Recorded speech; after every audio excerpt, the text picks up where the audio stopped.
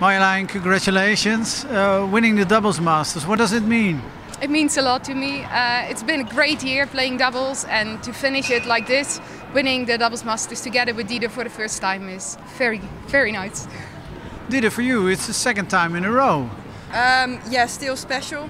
Um, here in, in, in your home country, that's maybe even more special. The first time is special, but this one, yeah, it's very special.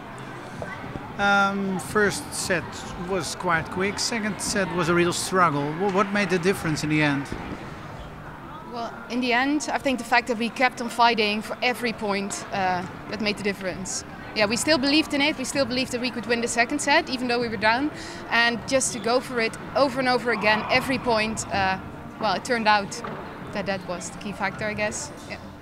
Having the home crowd uh, behind you, how important is that? I think it's really important. Uh, we can invite family and coaches and everyone who wants to come. Uh, they support you and keep you going, so I think it's very important. Congratulations. Thank you. Thank you.